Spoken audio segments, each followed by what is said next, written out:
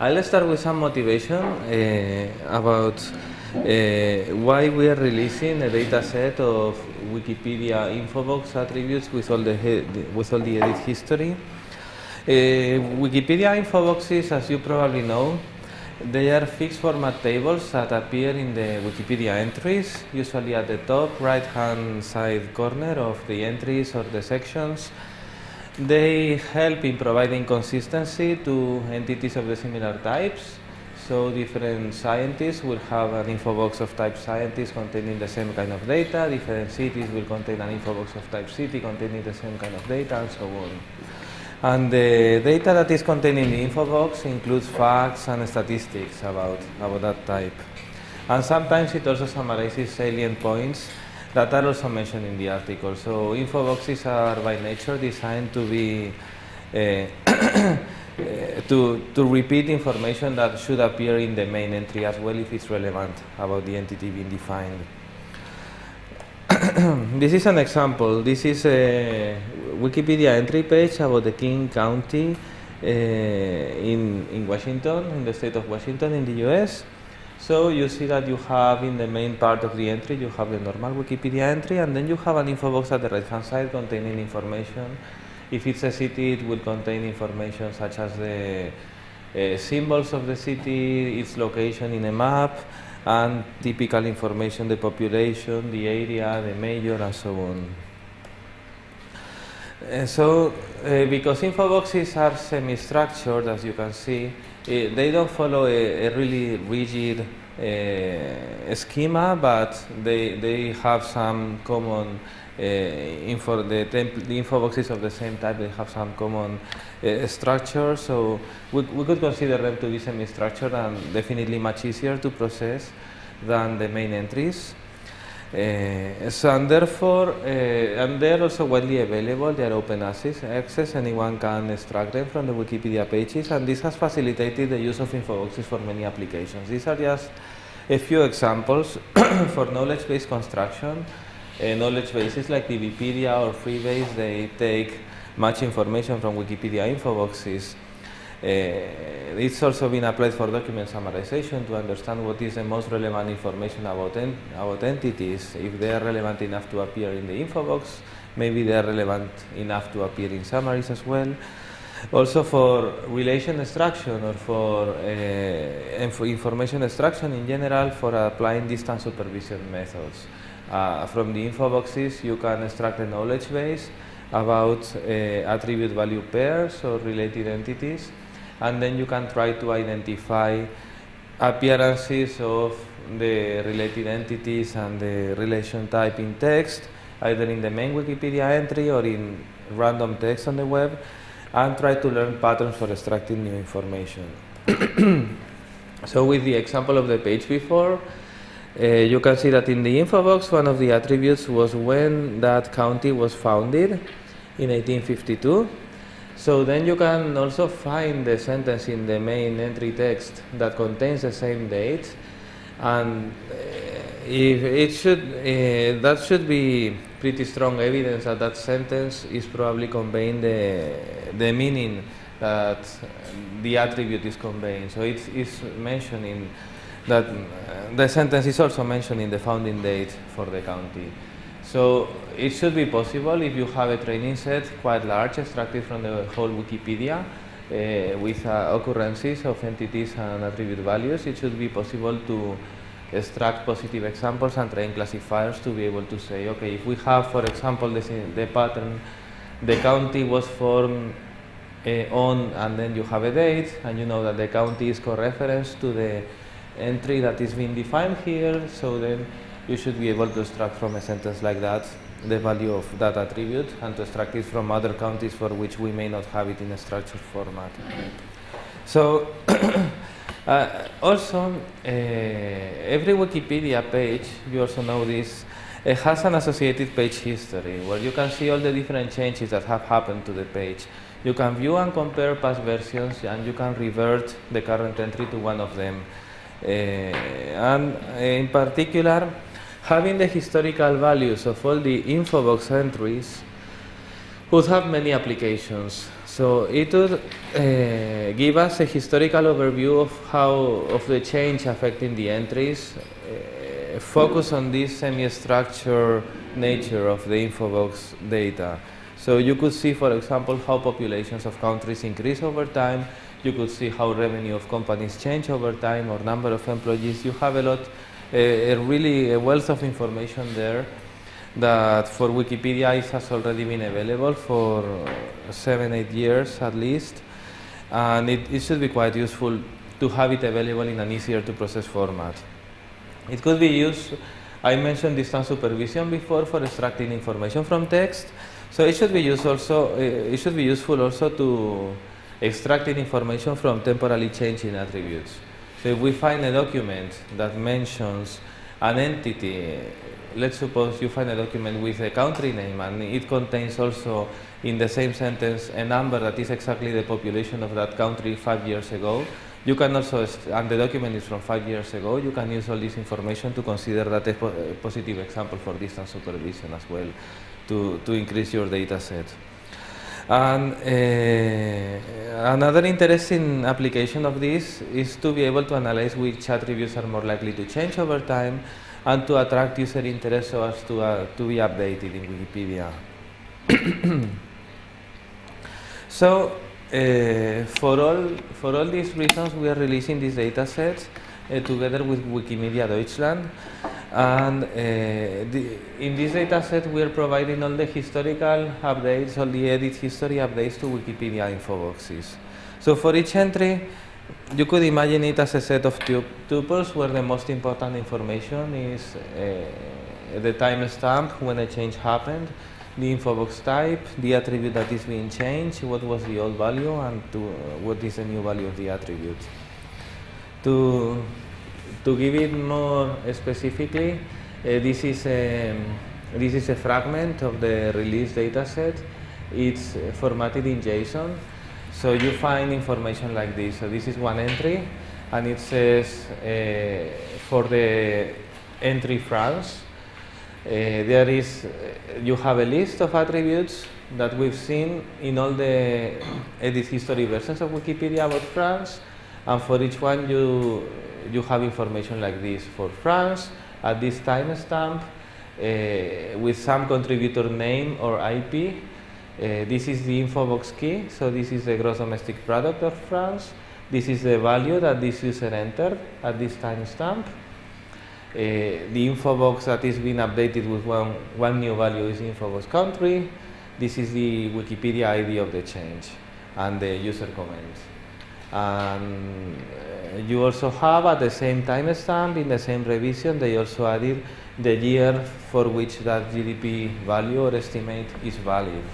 And then if you go down in the, in the list of changes of France, later on you will find that the GDP of France with the same attribute key has increased to 1.8 trillion.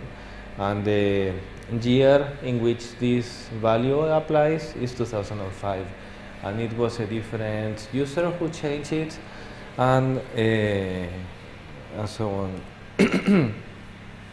so this is the, the architecture of the system. We didn't have full access to the Wikipedia database. What we did, uh, we downloaded the latest edit history dump that was available when we started working on this, which was uh, from early 2010. Uh, and that, that was a, a huge file uh, with like three or five terabytes compressed that you had to, in, to increase to, to, to decompress to a single file of around 50 terabytes, a single XML file. And so this, this was mostly an engineering work of being able to, to process the file, to understand the Wikimedia markup, and uh, that gave us a state of all the changes that have happened until, that, until this dump. So from January 2010 onwards, what we did was to, to build a client for the Wikimedia API to be able to crawl all the page changes that were happening after that date. Uh, and, and, so we, we store everything centralized in a, in a database that we have. Um, and then uh, once we have all, all, of this stored, to harvest the new, the new updates. So we parse the Wikimedia markup, we extract the info boxes, we compare the current revision with the previous revision, and we, we copy these changes into the database of the Infobox attributes, Infobox attribute updates. Uh, we also do some vandalism detection ourselves um, to, to try to remove the, the wrong examples and finally we generate the final output. so this is, this is basically what I just described. We also do a simple cleaning. So uh, sometimes our Wikipedia markup parsing fails because it's not perfect. So if we find that there are new values that are too, too big, Uh, it may be that we haven't properly detected the end of the info box and we have attached to the last attribute everything that comes after was in the main entry or it may be also that the user had made a mistake, uh, a markup mistake. So we remove the very, very large values in, in size, in number of bytes. We remove also updates with a life of less than one minute. And this is also to make the, the data set more easily downloadable and usable because that reduced the size of the data set by to maybe between 10 and 20 percent the original size. So really the vast majority of updates are, are reverted quite quickly, we found. Uh, but there is no other cleaning or, or understanding. So we are releasing just the raw data. If the name of an attribute changes, we don't try to, to relate it with the previous name, so we are just releasing that some attribute has disappeared and a new attribute has appeared again. We don't try to, to find them. And also we ignore the semantics of the attributes. So the, the templates change over time, so for attributes like birth dates, in the earliest versions you'd have the date written in a text format. At some point the, the template change and then the attribute for most entries is now provided in a, as, as a special template containing this data. Uh, so we are just providing the data that the user wrote uh, without, without understanding. So these are some statistics. So after the cleanup, uh, we have 39 million uh, attribute updates. This goes from the beginning of Wikipedia until uh, March 2012. There are around 2 million entries with at least one attribute and uh, we have 600,000 usernames and uh, around 2 million IP addresses that have contributed to the data that goes into this data set. And 12,000, 13,000 different attribute templates. And the most common infobox types are things like settlement, album, film, music, cal artist, and French commune. And this, this was a, a, bit surprising for us actually when we started working on this, working with that dump from 2010. I think French Commune was the top uh, infobox type that we found. And we saw that really uh, for every French commune there was a Wikipedia page and contained the infobox. So probably someone starting from structured data with a full list of French communes probably automated the creation of of all of these pages, most of them were stubs. Uh, just contain the name of the page and saying this is a stub about a, French city.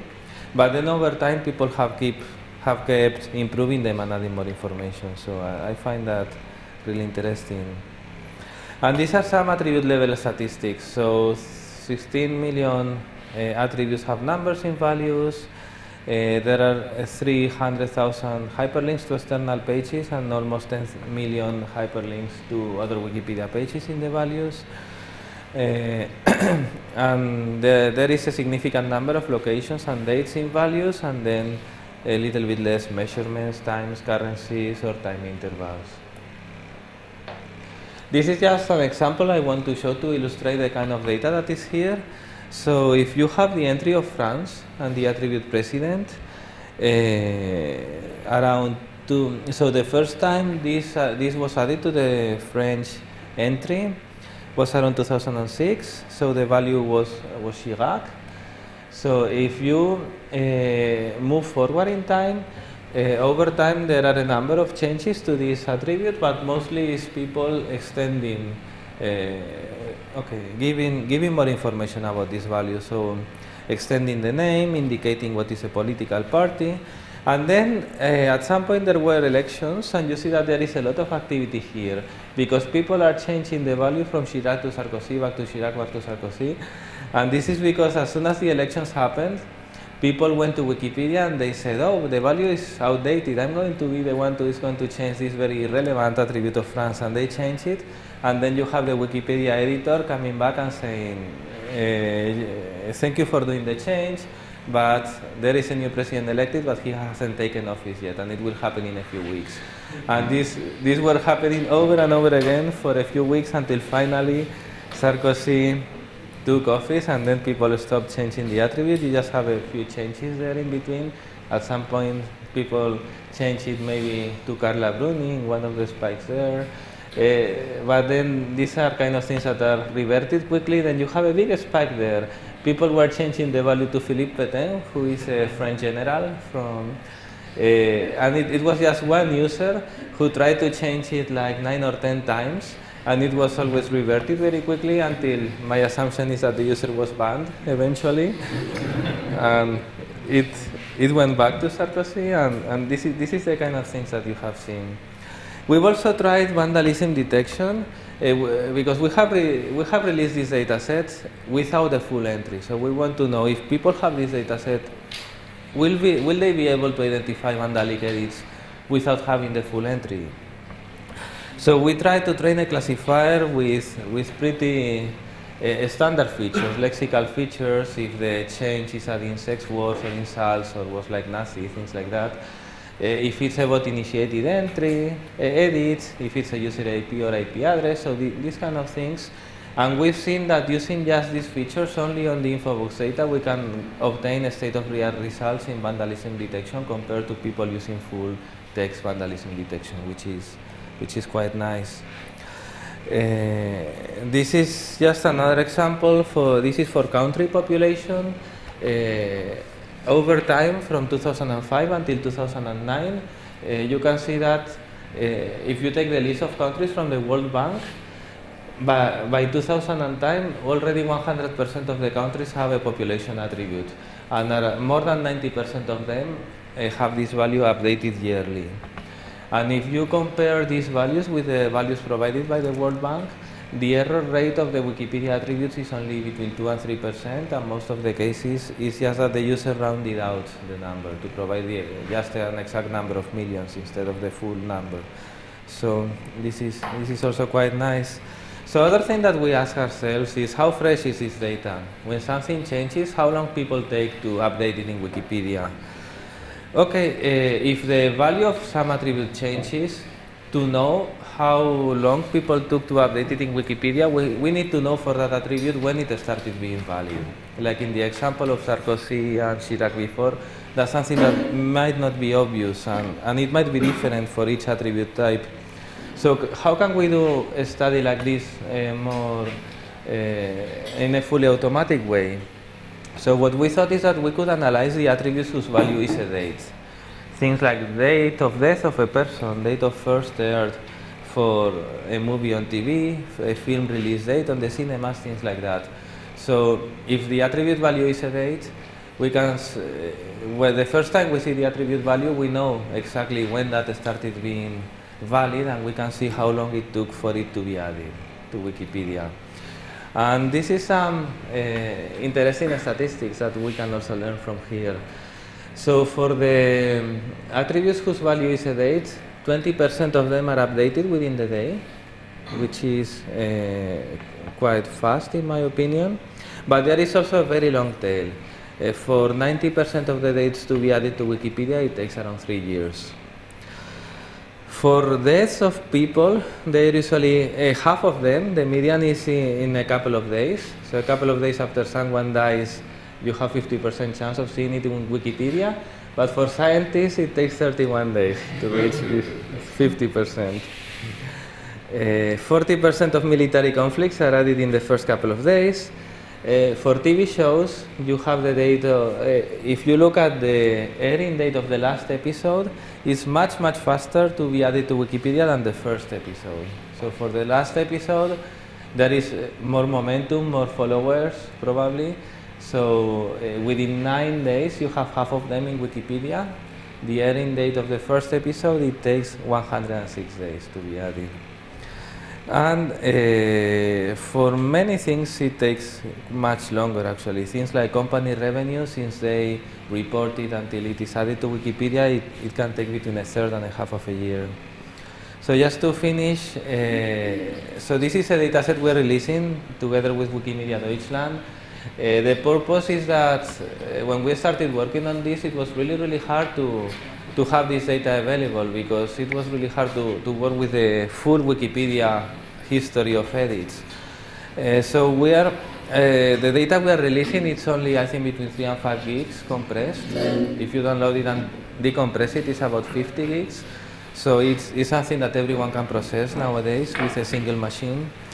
And we're making it available in the tool server page. And we expect this to be useful for research from information extraction uh, and natural language processing to maybe also sociology and analysis of how people collaborate. And as future work, we plan to publish updates over time of the same dataset and we would like to extend to other languages, but this is uh, done in, uh, this is our hobby, so it is done in our free time. It's not our main work, so uh, we don't want to make any commitments at the moment, but the plan is, is definitely to, to keep updating this for sure. Thank you.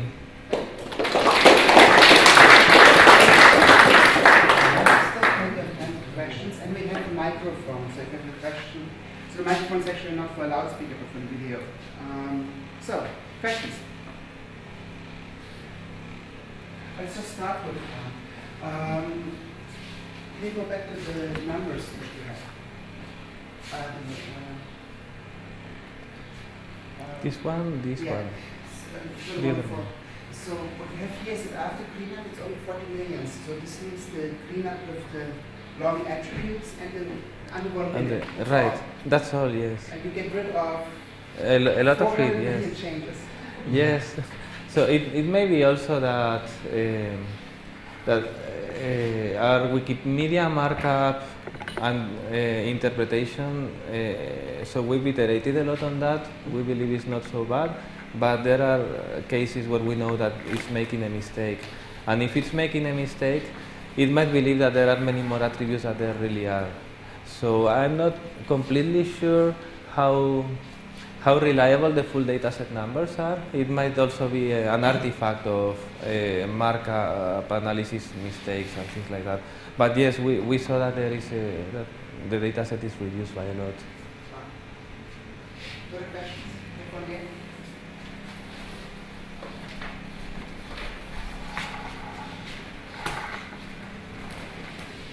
So, uh, which kind of types do you use for uh, uh, we, we tried several of them. Finally, we choose an AdaBoost classifier, but we tried SVM and we tried decision trees, and there wasn't really a big difference between them.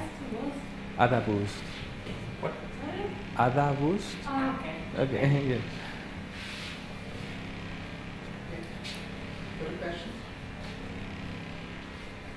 Actually, just wanted to make a remark. So I think it was very interesting presentation. Thank you. And uh, okay. Um, I just want to make a remark. So I think it was a very interesting presentation. Thank you. And I just want to link to your presentation yesterday. And I think this presentation shows how useful Wikidata is because uh, on, for, I, think the last slide shows uh, how up to date mm -hmm. the information in the info boxes are. And you could see um, in the future you, you can uh, have this information or you have this information what up to date the information are. So right. So you just can complete the work. yes, yes, yes, yes. Don't think it's a surprise that both works come from the same European project. yeah, but it, it's, it's a good point, and I think a, a, lot of this will be unnecessary once we have Wiki, Wikidata, yeah. and a lot of the things we done will be much simplified. So internationalization is, is evident, it, it will be trivial once uh, all the different languages are linked to the same data set. Um, and you'll, you'll also, you're also keeping all the edit histories as well. There's one more question.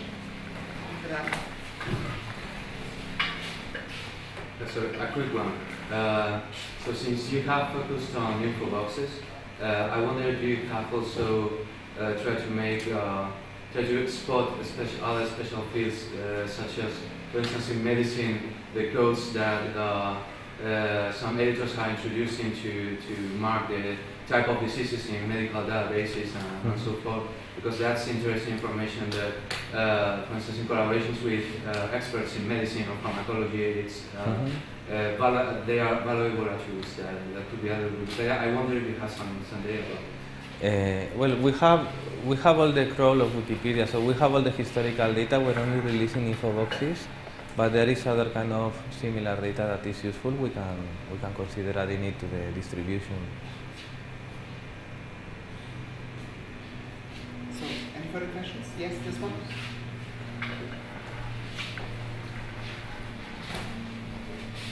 Just a quick one. It's only uh, English. Uh, English. Uh, right now, it's on English. Yes. Further questions? I would have one. Um,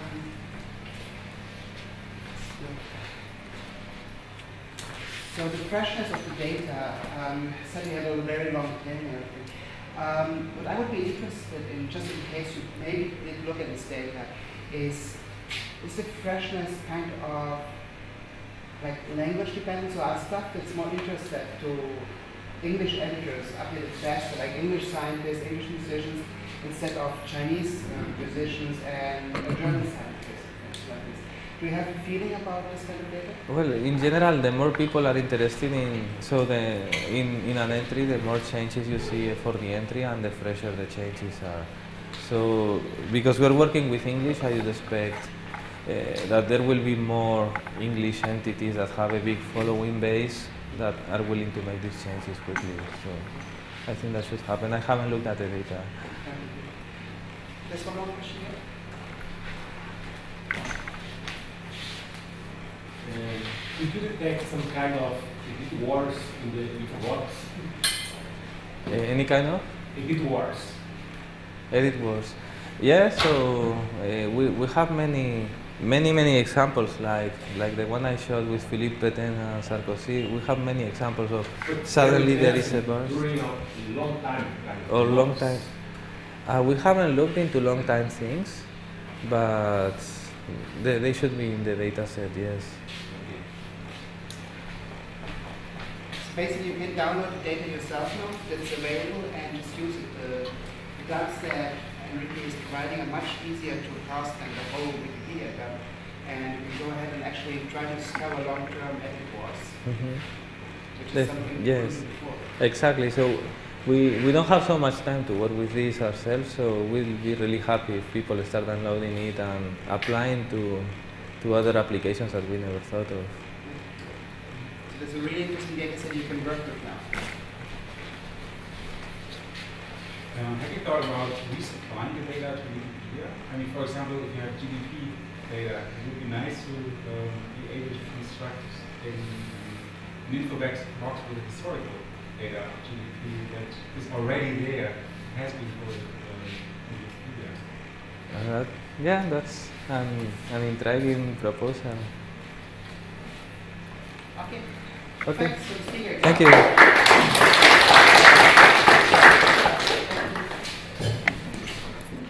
Hi.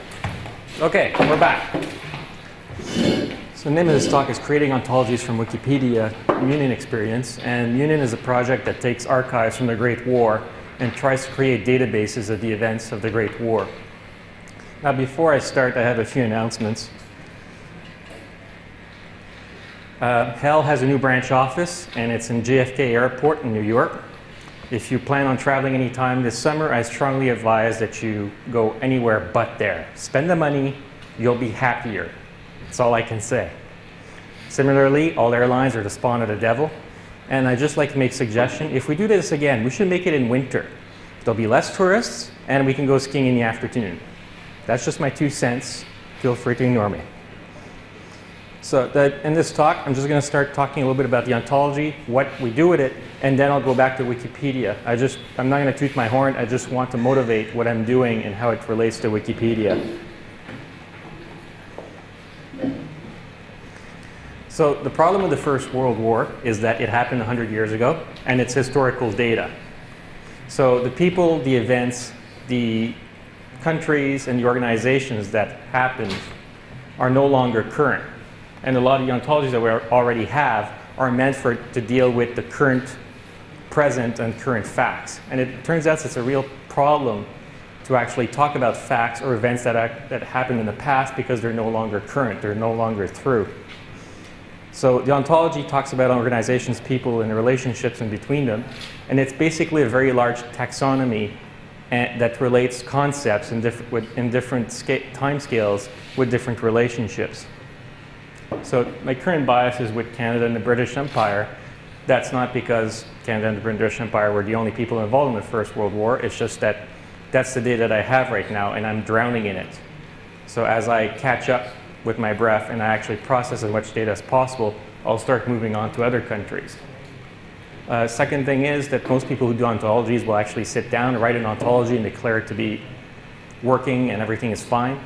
The way I create the ontology is as I acquire more data and the, the data does not fit within the ontology, I will create new concepts to fit the data within it. It's just that I can't really sit down and create all the concepts that could possibly occur within a war because it's too complex of a topic. So the major problem is that words mean different things to different people. So in Canada, militia is a reservist unit that dates back to New France. In the United States, a militia is a bunch of crazy people with guns. So you can imagine when the United States and Canada have joint exercises, they occasionally have misunderstandings. Second, uh, another example is a corps. A corps can be a military unit that's administrative in nature, like an ambulance corps, or it can be an actual maneuver unit that contains brigades. Ironically, the Wikipedia page on disambiguation does not differentiate the two. It just disambiguates the fact that it could be a military term or a corps of three. So perhaps we should fix that at some point. So one thing that's already been mentioned is that there are things and then the names of the things. And if you're using multiple languages, you need a pointer to the thing and then pointers to the names of the things in different cultures and different languages. And that's one of the major things that an ontology is good at. So we can talk about a sergeant or a Feldwebel and have the term in English or in German. But then we have the term for the actual rank that those two things represents. And so we can reference the same element within the universe even though we have two different, different cultures. And yes, there has been a lot of criticism of the semantic web. The two things that are working very well at the moment is the fact that you can put a URI on something and we can all point to that URI in order to reference the same thing and we don't have any arguments about what the URI is. The, the second thing that it does very well is that we can encode the fact that our URI and that URI are the same thing or that they are not the same thing.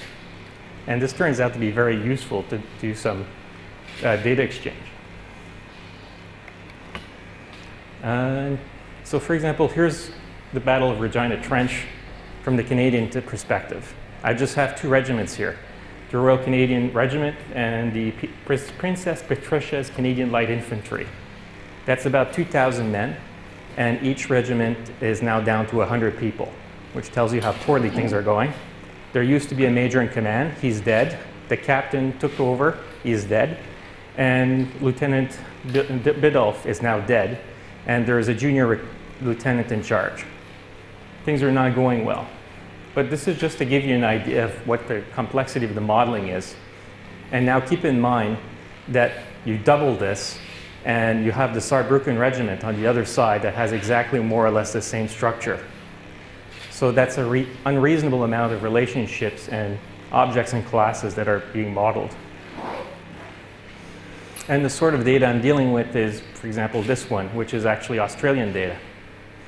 And what you can extract from a lot of these archives is, for example, here, this is about, about Captain Boddington, and he's, he's saying, my mate Private Gleason, or excuse me, this is Private Wood talking about Private Gleason. My mate Private Gleason. So now you can say Private Wood and Private Gleason are friends. And you can go through this archives and generates the Facebook of 100 years ago because Gleason and, and Wood are friends, which is pretty neat. Or there's a lot of forgotten history. So for example, Private Cooper got his commission two days before he went in that time. He's now dead. the person that promoted it, gave him his, his commission, is dead, and it's never recorded. So if you look it up in your official books, it's still Private Gleason. In, actuali- in actuality, he was Lieutenant, sorry, Cooper. He's been promoted. And just some of the initial uh, research that's been done, which gives interesting results. This is a project I was working on with Shelley Hulan in English.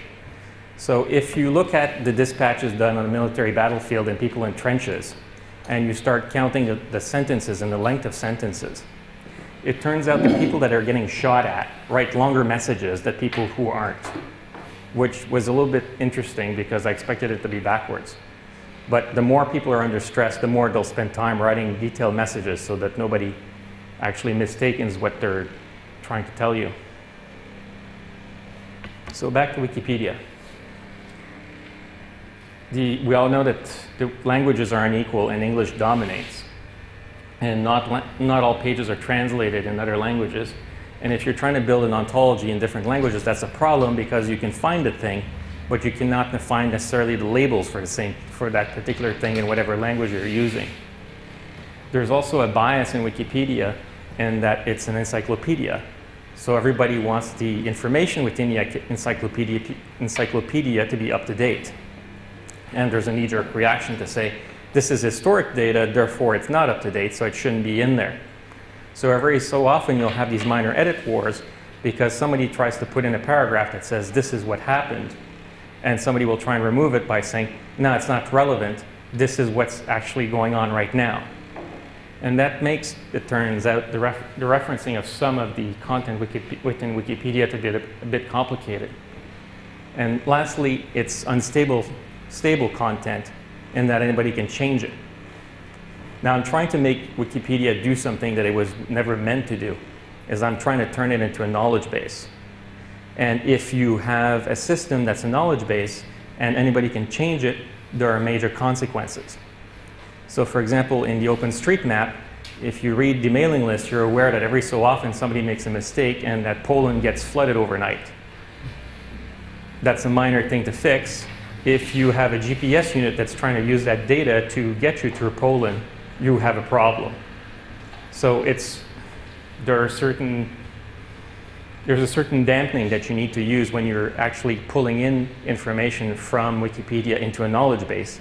And you probably want to do it as a batch, curate that knowledge, and not, then not necessarily change it, just because you don't want Poland to flood overnight in your knowledge base.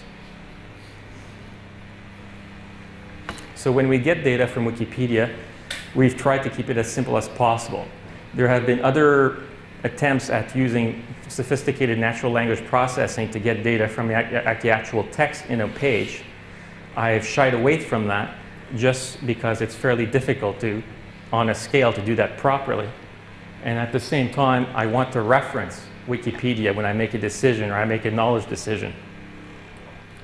So what I've done is I've queried a lot of the category data. I've queried DBpedia also to try and pull in objects. And from time to time, I make different decisions on what is the easiest way to get the data out of Wikipedia. And somebody mentioned list pages the other day. The problem with list pages is that it's a page of, of links. And the only way that I, can that I can link to Wikipedia right now is through DBpedia. So while it's easy for me to write a script that just goes through that data and orders uh, knowledge decisions based on the contents of that page, it's fairly difficult for me to reference something that's in the middle of a paragraph from, just from a language perspective. So I try to avoid list pages because it means I have to write a unique script for that specific pages. Although I was curious to learn about that cross-terracing warriors page, which I'm not quite sure if it's going to make it into the ontology, but it's actually interesting. And lastly, there's the problem with the ontology is that it needs to deal with changes. So countries come and go, you know, revolutions happen, people get invaded, and that's the fact of life. And a country is fundamentally a political entity that changes. And then the, its physical borders change, and its government changes. And you can't even keep, you really use the population as a good, a good indicator because people migrate and you'll notice that that's why the GeoNames ontology does not actually really reference countries. It just said a populated place. because it's the people that live there that give it, gave it its name. So on top of this, you have this second level of indirection, which is what do the people call it and what do the people from their perspective call it. So Canada is spelled with a C in English, Canada is spelled with a K in German. It's the same thing, but two labels, two perspectives on the same thing. So this is the typical type of object that I'm interested in. The German Empire, it's no longer around, but it's one of the major players within the First World War. And it has a start and an end date. It makes it really easy to generate this object that says it started here, it ended here, and the organization is no longer around. Also, there's the template that's, that has predecessor and successor in terms of the, the countries that made up the German Empire and what the pieces of the German Empire ended up being. To, from my perspective, this is the most important feature of Wikipedia. And if you top this one up, I will buy you a lot of pitchers of beer. Because that is so useful from my perspective because it tells me, or at least it gives me a hint to say, what are the cultures that made up the German Empire? Where, the, where did the culture of the German Empire go into new countries? Where should I look for for the boundaries of the physical locations of the German Empire, and what are the, what countries, uh, sorry, got invaded to make up the, the, the, German Empire, or that joined together to make the, the German Empire. So this is pretty cool because then you can say, well, I have the Maisonneuve Regiment. Where does, where does that come from? And then you say, okay, it comes, back, it comes from New France, which goes to France, so now you can make linkages in where the culture comes from over time in between the different organizations. Similarly, here's a problem. Canada. Quick question. When did Canada get its constitution? 1982. When did Canada get political independence grossly? 1938 the Canada in 1916 is no longer the Canada that is in 2012. In 1916, it did not have really a choice in its, in its decision. It's not a colony, it's actually a dominion. And so if Great Britain says, thou shalt do this, that's what Canada did. So if you're trying to study chains of command, if you're trying to study intent of what people are doing, you can't really use these two, this particular instance for Canada in the concept of the Great War because it does no longer represents the A, the culture, B, the level of government, and actually in C, it doesn't even represent the boundaries of the country in 1916 because it acquired a, a, a number of British holdings. And in 1949, it actually merges with the, or acquires the Dominion of Newfoundland. So, ironically, if you talk to a Newfoundlander today about the First World War, his perspective is that they are an independent country because they made their own decision to go to the second, for, for, uh, the second World War. They made their own decision to go to the First World War. And if you would have met a Newfoundlander in the First World War, he would have been really upset at you if you were to call him Canadian. S similarly, for China, it's interesting that it's the public, People's Republic of China, which has been around since 1949 you can take about, talk about the China as in the place, China as the people, but right now it's being linked to the political entity. So from our, from our perspective, this is a problem too. And interestingly, what we can do is you can use an actual linked open data construct that says different from. So in terms of uh, Canada and China, what I actually do is redefine my objects and say they're different from this, because this is not what I'm referencing within my, my universe. So there are certain things that I was looking uh, in Wikipedia for, and one of them is the concept of a historical period. So a historical period would be the Victorian era, the Edwardian era, the Warring States era. And it turns out that there's an info box out there that's called ERA for, for history purposes, and it's been hijacked for Star Wars. Okay. Look, it makes perfect sense if you're writing a bunch of Wikipedia articles about Star Wars. From my perspective, that's not the object type I want. So I, there's a lot of human curation involved in that. The important events is relative, again, to their, your viewpoint. So there's, when I showed you that very large, complicated model of the RCR and the PPCLI, that's during the Battle of the Regina Trench. That's actually a smaller part of the Battle of the Somme. If you're Canadian, the Battle of Regina Trench is very important. But most historians will talk about the Battle of the Somme as being more important. So there's a difference in perspective. Interestingly, if you're the person getting shot at, it's a battle. Uh, and one thing I'd like to talk about at length, just because it's really complicated, is military ranks.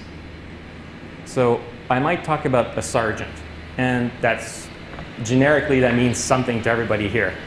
But in different armies, a sergeant means different things because they have different responsibilities.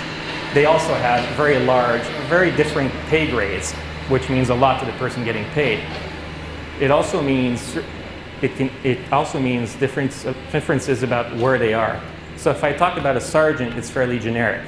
If I talk about a flight sergeant, it's a sergeant, but it means you're in the Air Force also. If I talk about a havildar, you're a sergeant, but you're in the British Army, or sorry, the British India Army, or you're in the Pakistani Army, or you're in the Indian Army.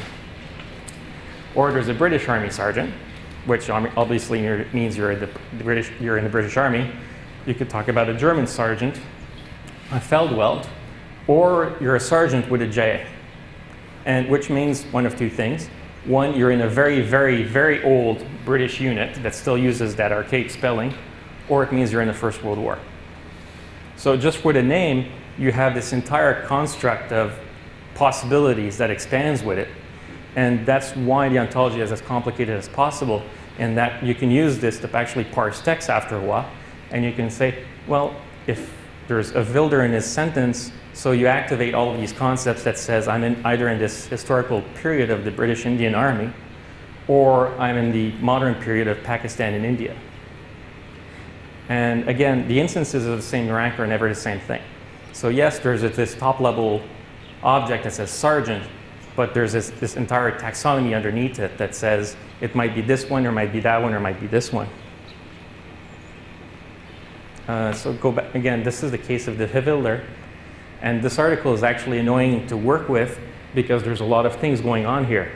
So it originates from the Maratha Empire and then it trickles down to the British Indian Army, and then it goes down to Indian and Pakistan Army. And this is where it becomes interesting in that the culture derives from one place to another. So if you're working with this concept, you can link to havildar. Now the question is, how do you extract from Wikipedia where it's being used? And you can use this category data of military ranks of, of India, military ranks, ranks of Pakistan. Military ranks of the British Indian Army is missing here.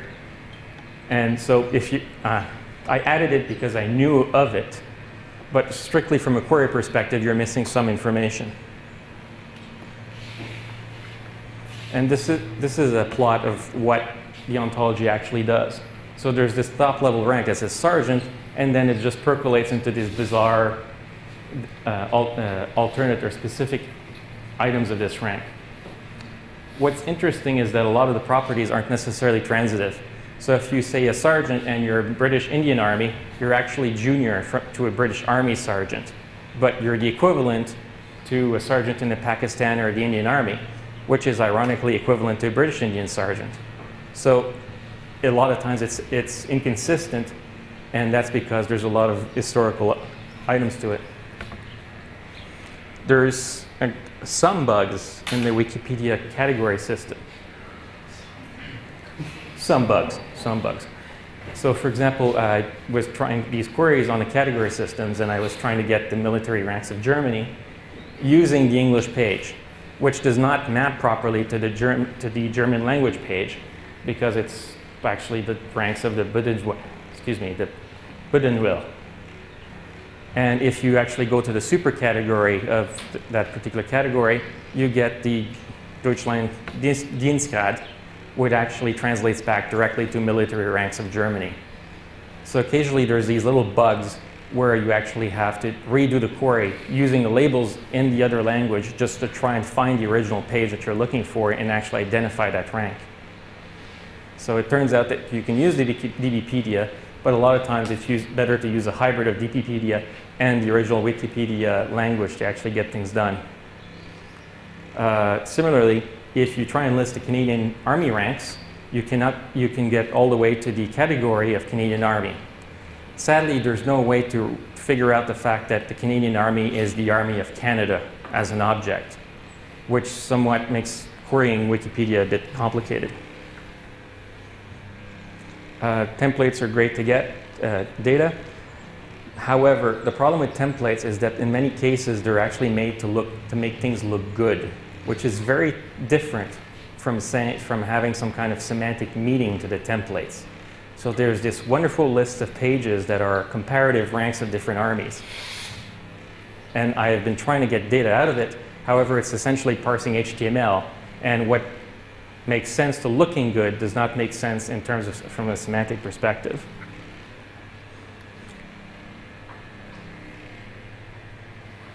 Uh, so lastly, like as, as I mentioned, somebody mentioned the other day that they had a problem with linking to different versions of DBpedia, different versions of Wikipedia. I have a stopgap measure where I mark my ontologies with a specific version of the page that I was interested in when I generated that. And that's at least allows somebody reading the ontology to make sense of whether or not the current page, the, their current longhand description that they're looking at on Wikipedia is exactly what I had in mind when I created that particular instance. So if you're creating an ontology, Wikipedia is an outstanding resource to get raw data. It requires a little bit of massaging, but it, the, the, the value of the information outweighs the, the work that you'll work on it, that you'll do on it.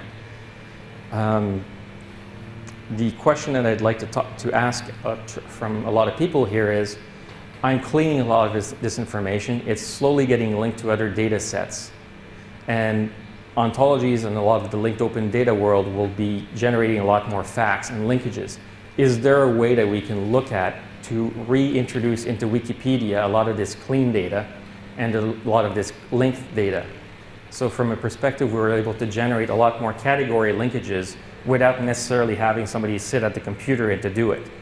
The downside is that when you do 100,000 inserts on a, on a category, maybe you want to look at very carefully what you're doing.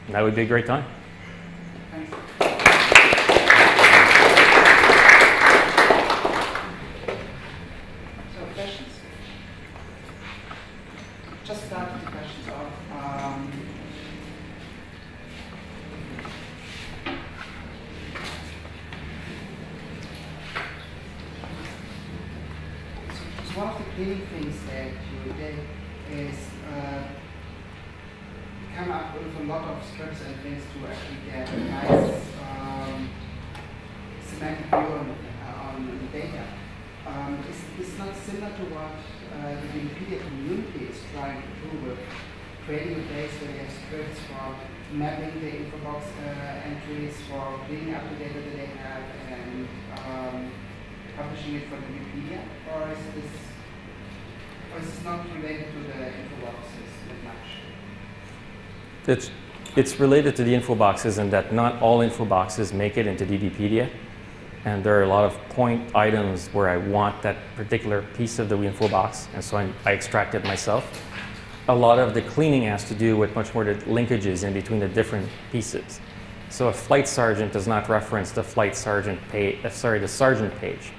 And so I create that within the ontology.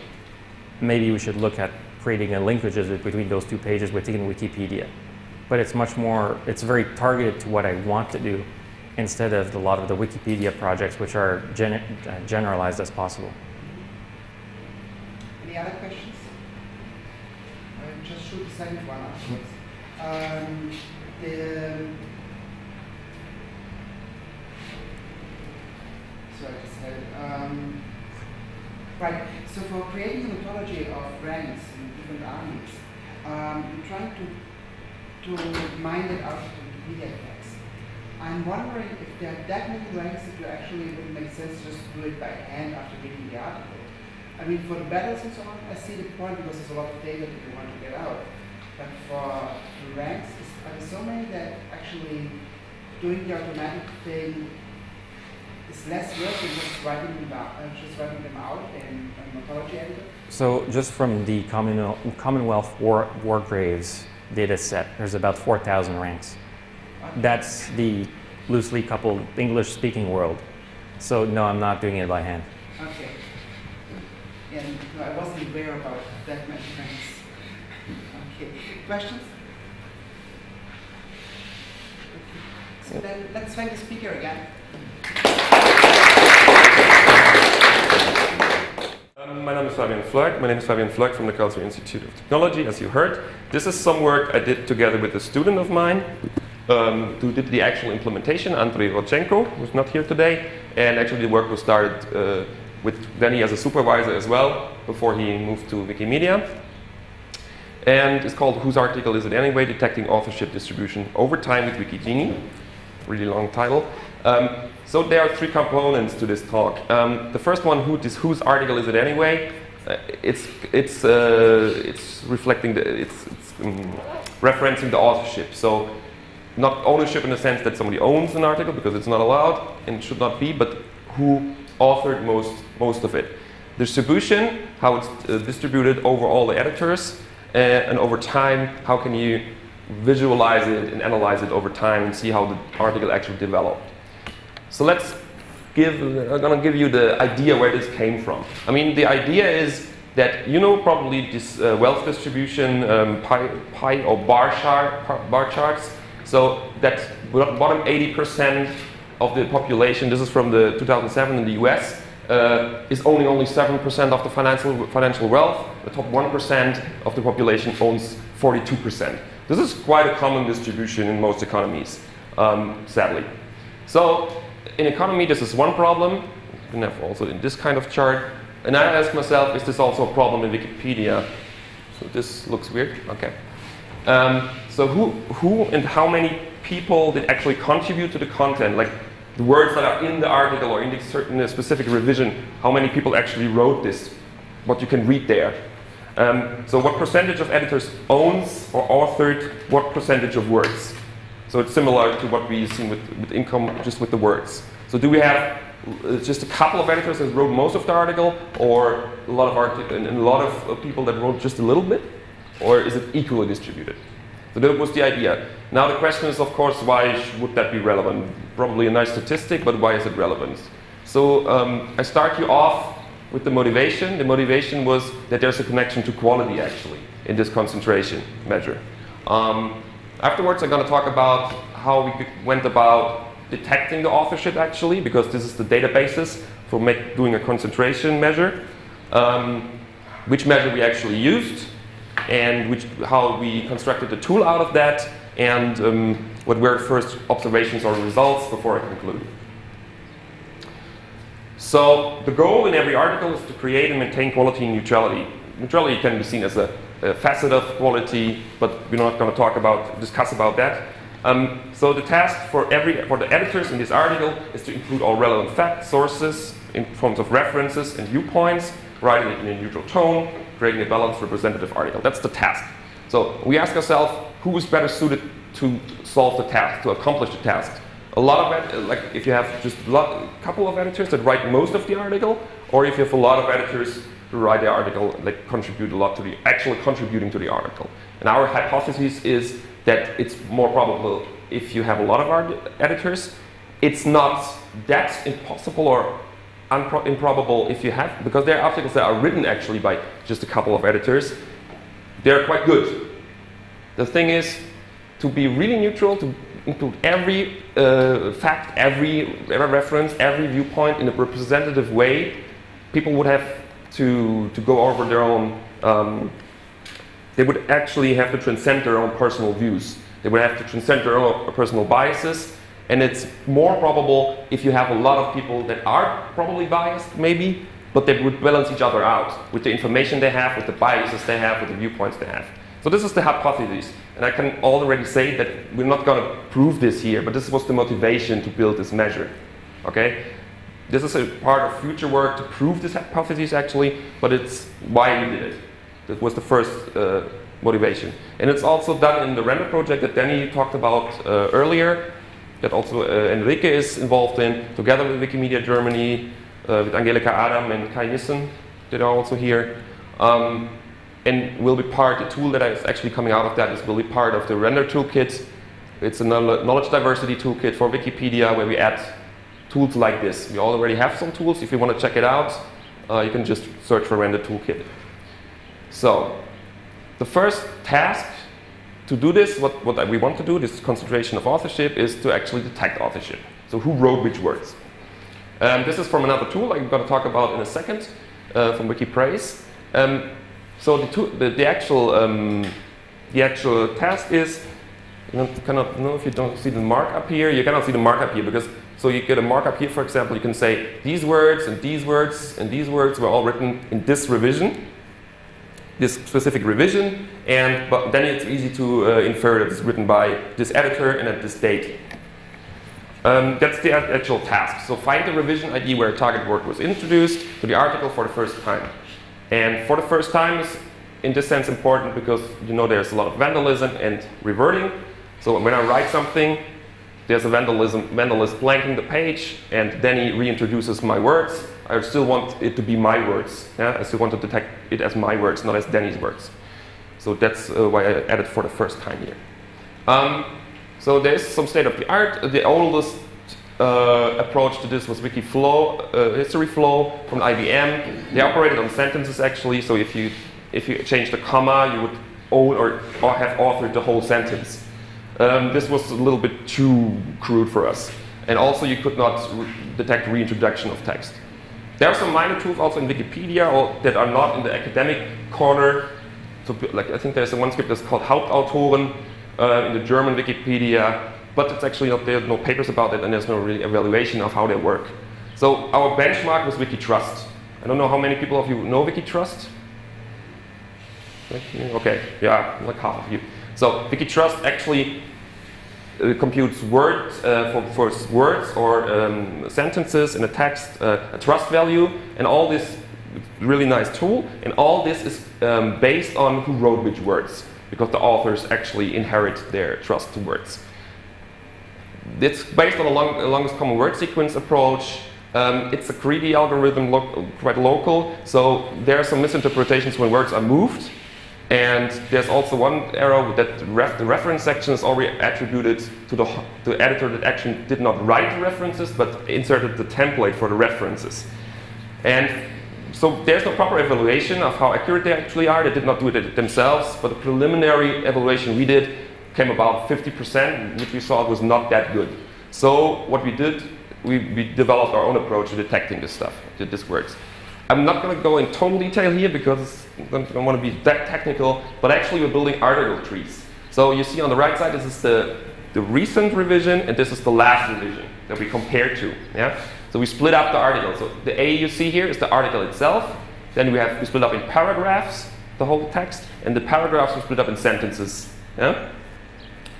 Then we assign unique hash values, unique IDs to uh, all of these nodes in our tree, and then we check what has actually changed.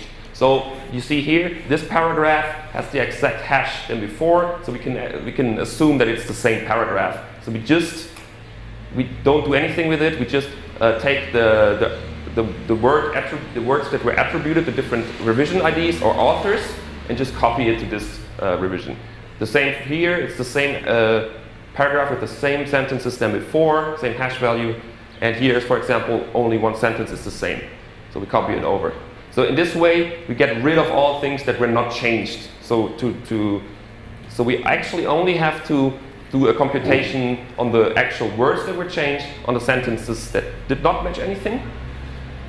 And you can ask me later how exactly we do it, but we, we, we um, uh, use similarity measures to say this is the same sentence as this in the old revision, this is the same sentence as this in the old revision, and this sentence was not there before. And for the sentences that were supposedly the same, we make a text difference, uh, compute a text difference to see which words were actually removed or added. So we can say, here there's a word added, here's a word added, and here is a whole sentence with, with a couple of words added. So all of these new words get attributed the author or revision ID of this revision. Oh, this is the one thing that, that I wrote, so I'm now the, the, the, author of this word, this word, and all the words in this sentence. You can ask me about how it works uh, in the question set or in the paper. Um, also, another um, advantage is we not only compare these hashes, like if they have been, these paragraphs and sentences have they been before for this revision, the last one, but for all revisions. So if, if, it, if they were deleted at one point and were reintroduced, yeah, the paragraph that Denny wrote 20 revisions ago was reintroduced now after a lot of vandalism, it's also detected here, with, together with the information that Denny wrote it. So then we did an evaluation of the accuracy comparing Wikitrust and our approach. It's not that big, but uh, it's still significant. So 250 words from 45 randomly sampled articles, also randomly selected, and manually went through it and compared what both algorithms said where the word come, came from and if it's actually true. So the result is that Wikitrust is actually only correct in 48.4% uh, of the cases, and we are correct in more than 10%, uh, more accuracy, and this is significant, very significant. Um, two things about that. First thing is I was kind of shocked that, that it's that low in the first place with Wikitrust, because Wikitrust, this is what the data that Wikitrust really re relies on. It's the core data that, where they compute everything from. The second thing is we are not that, we're better, a lot better, but not that good either. Um, we already identified, first thing, we already identified common mistakes that are made and we currently are on the, uh, in, in, the phase of fixing them. And the second thing, it does not really affect our, uh, our measure that we put out in the end. So I'm going to talk about this in a second. So for the end measure that we do, the coefficient we compute is not that uh, uh, relevant. I will tell you about that later. So now we have the data. It was the part about the data. So now we have data that's more accurate than before. It's kind of accurate, but still we know who wrote what. Now the question, a different question now, apart from that, is how to visualize, how to show it, how to make use of this data. So we have the Wiki Praise, which is an is a add-on on the Wiki Trust data. What they do uh, you already seen that to show you how, what, who authored which. Uh, you can install it, and then you have this nice add-on in your browser in the Wikipedia pages where you can actually see who wrote what. You can have the rank list in each revision that you go to, where you can see uh, here's the most. These are the, is the rank who wrote the most. The thing is, if you want to know now what is the concentration actually, what's the is it really that unequal? Then you would go, you would have to go to each every uh, each and every editor and look it up, like mouse over it, see how many words they have written, then make your own history, uh, like your own histogram or something like that. Um, and you can only do that for, for this revision, and if you want to know it over time, you would have to do it for every revision. So it's quite impractical for this. Apart from, from, the, from the fact that it's based on the Wikitrust uh, data. So we said we need an aggregated measure that's more intuitive and it also can be used as a feature of an article, as a number. Okay? So what we're using is the Gini coefficient. It's pretty well known, pretty standard in, uh, in economics um, to measure inequality. So you don't have to look at the you don't have to look at the at the formula. What's important is it's based on a Lorenz curve. So here on the on the y-axis you have the cumulative percentage of income. I'm staying in the economy example. Here you have the um, cumulative percentage of, uh, of population. And in an equal, totally equal uh, society, like where everybody earns exactly the same, 25% of people would earn 25% of the income, 50% would earn 50% of the income, 75 would earn 75. So everybody would earn the same. This is the line of equality. What actually happens is that the first 25 only have 5%, the next 25 have only 10% of the income, the next 25 have other 74 have, only, have uh, as 15% of the income, so 30 in total here for, for these 75% of the population, and the rest of the 25 has actually 70% of the income, so it's pretty, so it's pretty unequal. So this, this, this, this, what this coefficient actually measures is this area here. So how far you are away from total equality. And it, it normalizes it to, to, this interval between 0 and 1. So 0 is total equality and 1 is total inequality. 1 would be something like here going up here. So this is a measure and you can do the same for words in a Wikipedia article actually. So we compute how many people, authors own how many percent of the words. And the tool, actually, what happened here? I lost some of my graphics here. So what we have to do, actually, we just have to put it into a graphical interface. We used uh, a solution from highcharts.com, which is pretty, pretty neat. Um, let me do it here. Is that possible to see? Yeah. Okay, so you can actually um, select an article that's preloaded here. You can select what you want to have on the on the x-axis. So if you want to have revision ID or date, um, then you can actually um, we page uh, we, we uh, divide it into pages so it loads faster. So you can see here this is uh, this is actually with uh, revision ID numbers that are equidistantly spaced. Um, you see how the uh, coefficient evolves over time. This is the beginning of the article. Then you can go about looking at this. And when you see something interesting, you can actually zoom into it, look further in it. And if you mouse over these, these dots, so the different revisions here, you can see the revision ID and the Gini index or Gini coefficient. And you could go, for example, to the history and look up what happened there actually. Yeah, why did it go up all the way?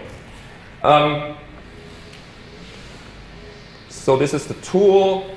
Um, there are some other um, alternative approaches. I did not talk about them now. For example, that we also implemented. They're not so different from the actual curve uh, from the original uh, algorithm. Levenshtein for distance, for example, it ignores words um, that were only changed by two characters or one character. So when I make a spelling correction to Denny, it's not my word afterwards. Yeah, if I, if I, for example, collect the plural that he wrote, it's, it's apples, and I just delete the S, it would not be my word afterwards, it would still be his. So this is a different approach, or one where we actually use uh, filtered out stop words. Um, so not, or, and are not uh, are ignored because they're not really carrying that much sense. It's just for comparison. But actually, the, the curves differ in height, but they don't really differ in, in, the, in the jumps that they do they make. The same goes for the, for the inaccuracies that I talked about earlier. Um, we, we tested, because I said we have 60% accuracy, we tested it, we inserted random mistakes into the curve, and the curve did, did change in level a little bit, but it did not actually change in the jumps or in the, in the uh, so that much. So it's not really that much of an issue, as far as we know. Um, let me go back.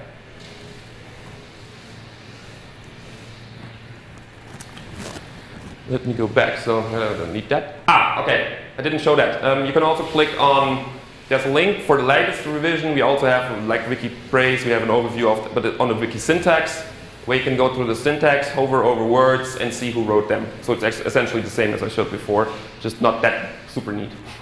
We're still working on that. Um, so some first observations. I mean, this is not this is not really like uh, representative, but we, I looked through a lot of articles, and actually what you could see is, so this is the, this is the beginning of Sergei Korolev and Barack Obama, and on the x-axis we have uh, the revision numbers. What you can see is that many articles actually stabilize after. So first of all, first of all, of course, in the beginning you always have an equality measure of one, because one editor writes everything in the first revision, of course, not possible. So then comes another editor and uh, it uh, writes, here, here the second editor wrote more words, so it's more, it's less unequal. Yeah? Here, the, the second editor wrote not, did not add so much or delete from first editor, so it's not, go, does not go down that much. What you can actually see is that between 50 and 100, 150 edits, usually the curve stabilizes, stabilizes, yeah, stabilizes. So that's an interesting um, observation. Then you can also observe that sometimes it stabilizes, really stabilizes, sometimes uh, it stays more volatile, like in this case. And when you look, for example, when you compare these two articles, you can actually see that Sergei Korolev was not that disputed. I mean, people are not really mm, discussing a lot about it. There were, were not many reverts, almost none. So people are actually, so someone built up this article to this phase where it was like that, and then people start contributing, and you can see the more words were contributed by more different people, it goes down a little bit all over. And it, this, this continues quite a, quite a long time.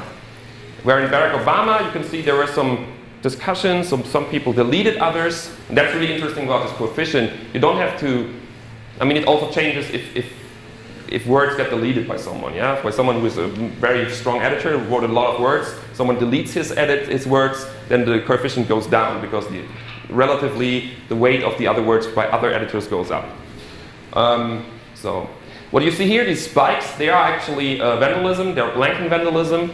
So it's not a new method to, to, detect vandalism, but it gives a nice overview about blanking vandalism. Yeah, because when you have someone blanks the page or blanks it almost, yeah, then it goes up and down very much because then there's only one editor uh, owning most of the words or no editor. Um, what you can also see is that is what you can also see is that um, uh, over time, when, when, I, when I choose dates as a, as a x, uh, x-axis, you can actually see that this took a little longer here uh, uh to stabilize for Sergei Korolev than it did for Barack Obama. Yeah? It's just because Barack Obama did receive more edits in shorter time. But it's also it's an interesting thing to, to look at. Um, here in Barack Obama, we see that there's actually a step up in the curve. Uh, so these things are interesting. I give you another example uh, of Antarctica. Um, this is really interesting. Um, so we had here one editor that in the, in the course of I think one or one and a half days actually added a lot of words. Added, um, he deleted some, uh, shifted some, uh, but mainly really adding uh, uh, whole sections. And um, there was only two edits actually that, that did, I think, two uh, comma mistakes, but it was not disputed at all. So there was no, there were no reverts. There was not, there was not even something on the talk page. There was nobody really. It was in 2006, so that's not maybe not that uncommon in that time. Today it would be probably different, but there was actually no discussion whatsoever about what he did. Um, so he actually constructed most of the article. And what's interesting and you see afterwards, this decreases slowly, like we see with Sergei Korolev, but actually there's not, not at one point where it drops again, where his content gets removed again. So still today, he's the top second, he's the second top editor in words uh, in Wikipedia, and most of his sections are still in place like they were in 2006. One section on meteor meteorites is, he was, it was split out as a own section, but the words are still this, of him all the words. So this is actually interesting because you can see that whether he's a really, really good editor that, that uh, could, could uh, predict what was relevant that good, or people did not dare to change actually what was in there. That's not for me to decide. I'm just saying that there's really in interesting indicators of, of what hap what's happening there. Um, you could argue in this sense, you could also detect that with uh, if the, like the number of characters goes up because you added a lot. But this, the thing is, uh, you can this this this would also go up if you would delete a lot, or if you would delete and add. And this happens as well. I mean, people deleting a whole section and writing a new. You would not delete. You would not detect that with, if you only look at characters going up or down, like the length of the article. But you will detect that with this coefficient. Um, Okay, let's skip this article. So this is a nice. So to conclude, so this low concentration better for quality, but I, I said that we don't didn't test that here, uh, and we still don't know what other information we can derive from that because we only did these first observations. But what we did, we, we, we raised the accuracy, and we have a good idea how we can raise it further. Um, and this tool is really helpful just to, to spot interesting, interesting uh, uh, evolu evolutionary steps in this article, uh, to look at them. They don't necessarily mean something bad, but it's interesting to combine them with other measures, for example, in this toolkit that we have. Uh, and that's what we are planning uh, actually um, to combine them with more measures, like, for example, edit concentration, reverts, the size of the article, and what I really want to do, the top 10 authors. You can see the line of the top 10 authors as well. Um, and actually, what turned out from my first observations and when I went through all this the interesting information actually lies in the changes, not so much in the in the height of the of the of the coefficient, because it is mostly between 0.7, 0.8, sometimes 0.9, but for most articles it actually is quite high, if you would say. Yeah. Um, yeah, so we have nice, some nice plans, and it's actually uh, right now uh, being implemented at the tool server. So we try to then give timely accounts of, of the because right now we only have have it running on the dump, and then we hope we can do it more like updated every every four weeks or two weeks or something like that. Um, we're working on an add-on that's not as nice as Wikipraise, working on our data. And there was a nice suggestion by someone at the Web Science this year who said it would be nice to have a list of all articles that recently got a very high coefficient to look at them. So that's things that we are probably working on, but I'm open to other suggestions. So thank you, and uh, any questions are welcome. So,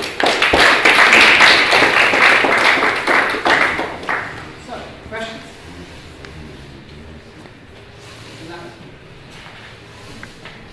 I'm going to study Rob first. Just because it's next to you. Rob? Do you have any data, or is it your impression that certain edits done at certain times have less probability of being reverted? So if you do it after lunch, nobody will notice, or if you do it before lunch, somebody will notice? Um, mm, yes, I do, but this, I mean, not in the, the, I mean, did not look at that in this um, in this work. I did not do research on that, but I do actually think that there is some probability going down when you when you uh, when you when you do it at night for specific articles that are very interesting for this population. So if you added Barack Obama and it's night in the US, it's, I think it's more probable to, to not get reverted, yes. But it's personal, it's, uh, it's not really on, based on research. Um,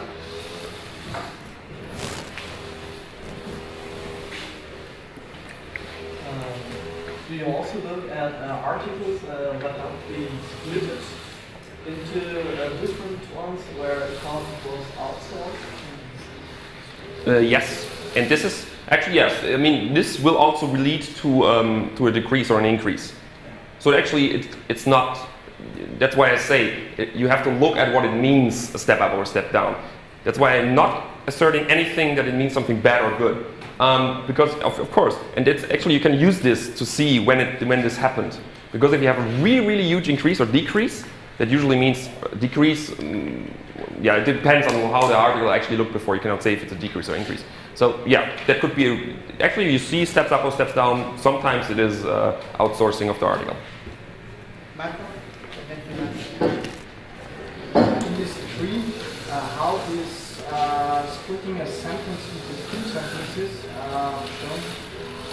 Aha. I have a backup slide for this. No, I don't. Oh, shit, I didn't do it. Um, so actually, what I do, I look for the. I start with the first sentence, and if I don't find uh, similar, I do it by vectors and by by, uh, by by simple cosine similarity. And if I if I don't find it, usually if I would split up a sentence, like say let's say these two here were were one sentence before, yeah, and uh, like were this sentence before, and I, someone split them up into two sentences. Then I look with cosine sum, I look for the vector of words, and if and if they don't cross a certain threshold, I will assume this is a new sentence. So this is a this is an error you could do uh, you could make in the way. Then you, but then you know so so this if this is this these two are just this sentence split it, then I would and it depends. If there if this one sentence is still similar enough to be recognized as, as the same sentence here i would recognize this sentence as the same as here but this sentence as new. Okay. okay? Because I, I, I set a certain threshold in a cosine similarity and if it goes over it's the same sentence. If it stays under it's, uh, it's not the same sentence. Then you have to ask yourself is this really a mistake because if i build a completely two new sentences of one sentence is it actually something new or is it something old? But I cannot answer this, Yeah, actually. there are many very complex sentences in Wikipedia. Yeah. Um, so it's also the same if you split par- one paragraph into two. Uh, yes, that would be the same. Then you would start, then you would just have more work because then you would not recognize, ah, I don't have it here. Then you would not recognize the paragraph as the same because it would not have the same hash value. And then you would actually have to compare all the sentences. But in a, in, in, a way, in a case where it's only splitted, you would still find the same sentences in these paragraphs. Okay. Fernanda?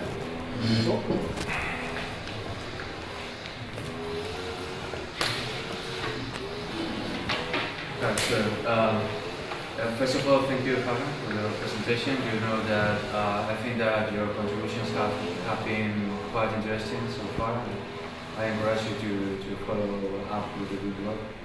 So uh, I have uh, one question and a few suggestions. So first of all, can you go uh, forward, actually backward to the first slide of your conclusions? Of my conclusions? Yeah. Uh, here. The, that, that one. So, uh, so your uh, preliminary hypothesis is co concentration is better for quality still to be tested. Actually, what you have presented today is that most of, uh, if I if I got it right, is that most of the for most of the articles, uh, the inequality level is somewhat high. I mean, between 75 percent to, uh, yeah, it's not, per yeah it's not percent, but yeah. Okay. Okay, and actually it remains stable over time, which is consistent with my own work about the Gini coefficient and the, the inequality of uh, contributions to Wikipedia at the macroscopic level and for different languages. So the question is, so given that the empirical evidence is that the uh, actually is, uh, uh, uh is that the uh, inequality contributions to articles are actually highly unequal. Uh, so how does it fit with this kind of initial hypothesis? I don't think it contradicts it. I mean, it could be well be that this. I mean, first of all, okay, two, two answers to this question. First of all, I think it's relative. So first of all, I think you have to relate articles. So I think if one has a bigger concentration, and this could also be, I mean, it's a, it's not, I mean, you have to interpret this, this coefficient. It goes up very quickly. Um, well, it depends on, depends on the number of the, the yeah. of the population. And also depends on Actually, we did not filter out vandalism. For example, it goes up quite quickly if you, for example, there is there is vandalism reverse, vandalism reverse. This means that coefficient will go up even if the even if the number of authors to words is the same because the number of edits just increases tremendously because there's a lot of vandalism. It does not actually mean that that the, that the article is more concentrated than the other one who did not have vandalism. So this is one thing that has to be uh, taken into account. Then I would always compare two articles. Like, is it more, is it more concentrated or less? The sec second answer to that is um, actually it can be that it's it's not contradicting the hypothesis. I don't think so because actually it could be that that it is that it is uh, not really really uh, diverse. So I cannot say anything about that because actually we don't know, it, it could just, just be that many articles in Wikipedia are hardly undiverse because there are not many people contributing to them.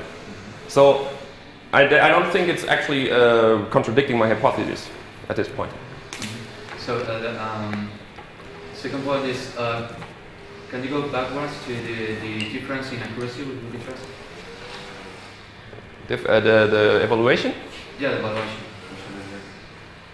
Ah, here we go that one. So, uh, so actually what I'm missing here is how many revisions are you uh, considering? Because you say uh, 250 words, uh, 45 randomly sampled articles, but how many revisions? Only one. Uh, only the last one. Only the last one. Okay. Yeah, I just took the last one from these 45, -huh. and from these revisions of the 45, I selected randomly 250 words. Okay. Because it actually, I, I should not matter if, you, if I had to take different revisions from this uh, one or two articles and go back in time because this should be right over time. Mm -hmm. Okay, and the, the, final quick assessment is uh, I'm probably missing one important uh, input, uh, which is the experience of the user. Uh-huh. Uh, I mean, if you go the other way around, so if you get quality content that has been marked as, as such by the community, good articles, feature articles, for instance, mm -hmm. you go backwards to see who has been contributing to those articles.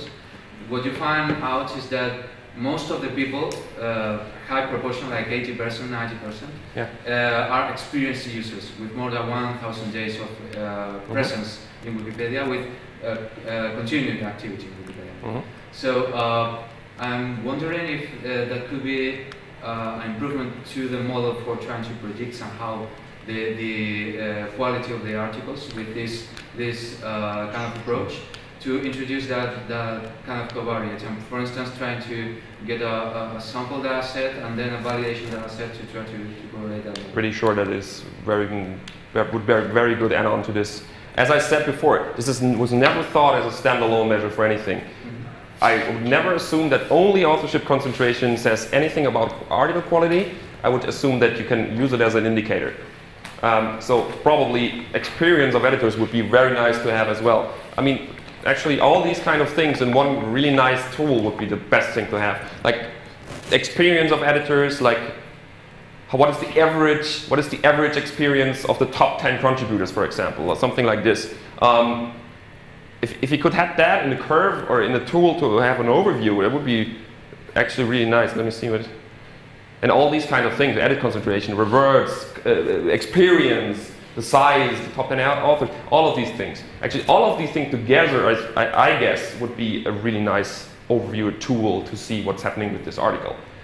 I, I, I really, really not recommend anyone to take only one of these things to, to predict anything.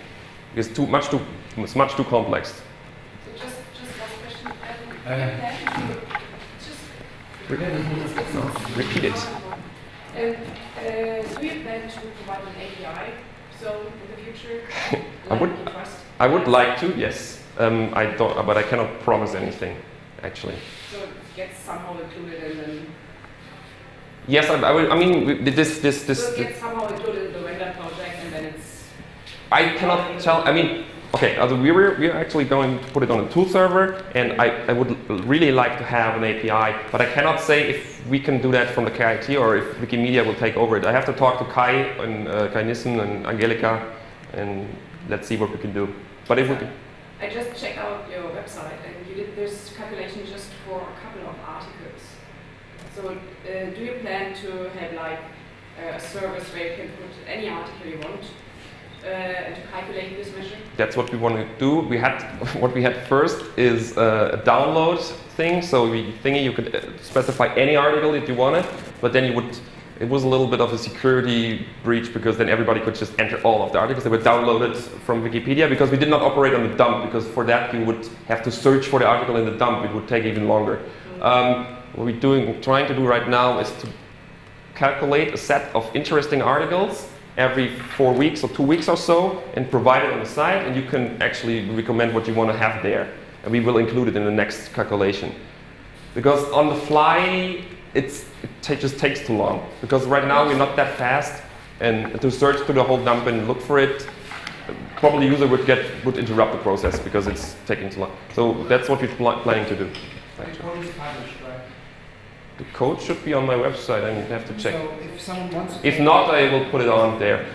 So if someone wants to take it and make it so And actually, we have actually we have a good idea of what is going wrong there. I mean, most of the most of the most of the errors actually made by these by both of these approaches are. Let me go. Uh,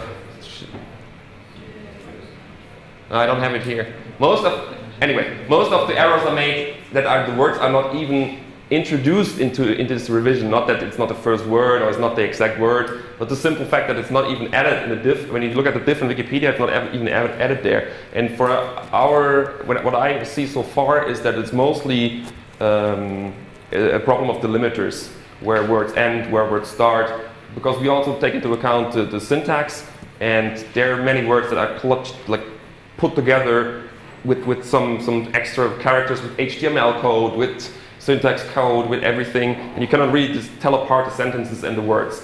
That's actually, we're working on that, and it should not be that much of a problem to increase the accuracy a lot. Let's thank the speaker again.